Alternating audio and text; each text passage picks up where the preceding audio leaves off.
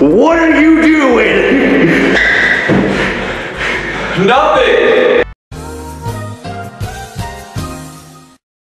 I heard you got in trouble for vaping in the bathroom. Um, I didn't know it was against the rules. You should have read the handbook. No nicotine products, no tobacco products, and no vaping. It's against the rules. You know better. Should've read the handbook.